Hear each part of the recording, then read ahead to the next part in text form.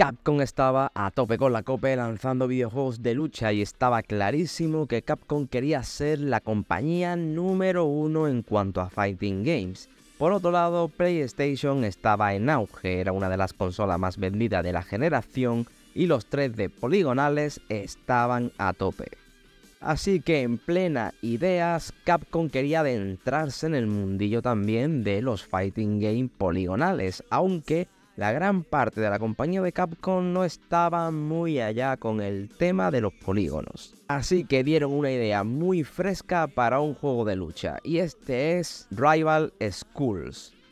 Un juego de lucha que básicamente son varias escuelas o institutos donde se tienen que dar eh, leñazos. La idea en sí era muy jugosa y estaba muy bien planteada. Así que en 1997 nace Rival School, un juego de lucha en 3D de Capcom que contiene elementos de jugabilidad muy similar a lo que sería la serie Street Fighter junto con toques de Marvel vs. Capcom y obviamente ese estilo de lucha 3D muy característico de Tekken.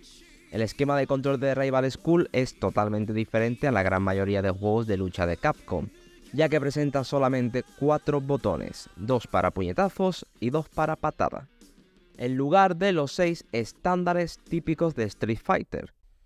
Rival School introduce varios elementos de jugabilidad únicos que lo hacen destacar, por ejemplo, ataques en equipo, contraataques tardíos muy similar a lo que serían los contraataques de Street Fighter Alpha, cancelaciones de ataque, combo aéreo de gran altura muy muy típico de la serie Marvel, medidor de super hasta 9 niveles y una mecánica de deslizamiento lateral que ya hemos visto muchas veces en Tekken para poder esquivar tanto ataques como proyectiles. La premisa de Rival School era muy jugosa ya que los jugadores tenían que crear un equipo de dos personajes. La jugabilidad es uno contra uno con un personaje compañero entrando en acción cuando uno necesita ayuda o para lo que sería conectar ataques. Este tipo de linkeo de combos puede ser muy pero que muy versátil.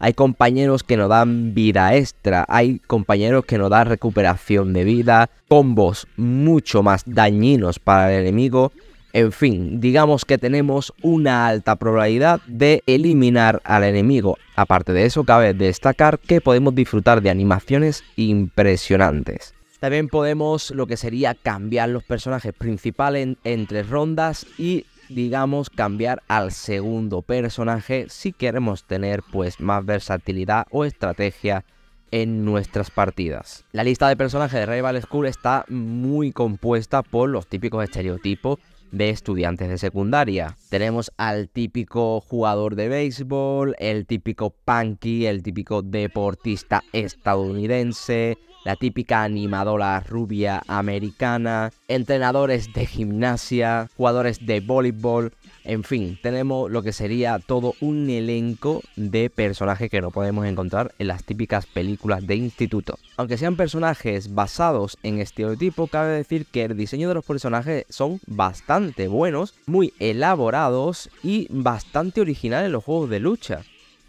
También cabe destacar que aparece Sakura de Street Fighter Alpha. Por lo tanto, queda un poco en el aire si Rival School y Street Fighter están conectados en el mismo universo, ya que ni lo han afirmado ni tampoco lo han desmentido. Todos los personajes tienen un estilo de juego único, algunos de los cuales se asemejan a otras personalidades de eh, otros juegos de lucha. Los diversos personajes de Rival School presentan una sólida variedad de movimientos especiales y algunos super movimientos y movimientos en equipo muy épicos. Animaciones de ataque y las animaciones de lanzamiento son bastante buenas y además están bastante bien construidas. A pesar de que Capcom estaba ahí ahí con el 3D poligonal, las cosas como son. No le salió del todo mal la jugada y además está bastante bien pulido en lo que sería el concepto gráfico. Eso sí, hay algunas animaciones que mm, están muy por pulir, como por ejemplo caminar hacia adelante o caminar hacia atrás. Estas cosas también la pudimos ver, por ejemplo, en Street Fighter X. Pero a pesar de estos pequeños errores gráficos, la verdad, el juego luce muy bien y lo que sería lo más importante, que es las peleas, ahí sí que es verdad que Capcom lo dejó muy pulido. Aunque primeramente este juego salió en arcade, luego se porteó para PlayStation y tengo que añadir una cosa, por primera vez en mi vida un port de PlayStation es mejor que el arcade. No simplemente porque tiene también lo que sería la versión arcade en lo que es el juego, sino que este juego vino en dos discos. Por un lado tenemos el disco arcade, que tenemos el juego completamente como la versión arcade, y un segundo disco que trae multitud de cosas. Tengo que destacar que la mejor versión que os podéis pillar de este Rival School es la versión japonesa porque se incluyeron más cosas que en la versión europea se retiraron. Principalmente nos encontramos con un montón de minijuegos. Juego de béisbol, juego de fútbol, juego de volei, juego de bolos y una cosa muy, muy extraña, pero que quedó bastante guay para lo que sería el universo de Rival School, es que tenemos un simulador de instituto con los personajes del juego.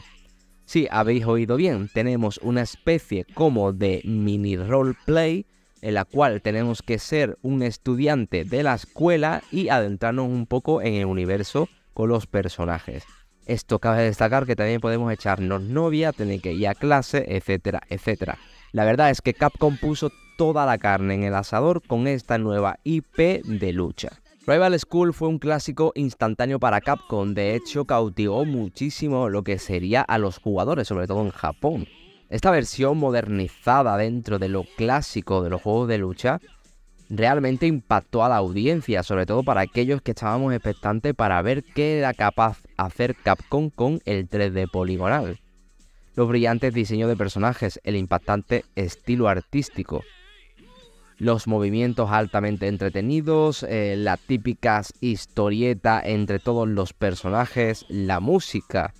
Realmente Rival School fue un gran juego de lucha, muy bueno, muy original para aquella época del 97-98 que estaba el fighting game muy, muy en lo alto.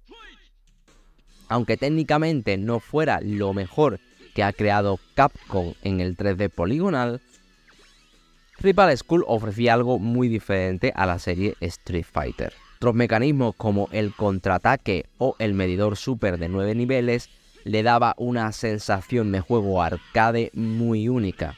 En definitiva, Rival School era como un juego que nunca habías visto y a la vez era algo que ya se había estudiado anteriormente. Junto con Dark Starkers, Rival School es otro brillante juego de lucha de los 90 que demuestra toda la creatividad que tiene Capcom para este género. día de hoy, 2024, es un juego que se puede jugar perfectamente. Es verdad que ha envejecido un poco el tema del control, que a lo mejor eh, para jugadores muy nuevos puede ser bastante acartonado pero no tan acartonado como otros juegos de la época. La verdad es que eso demuestra el cariño que le hizo Capcom a este juego para que saliera muy bien.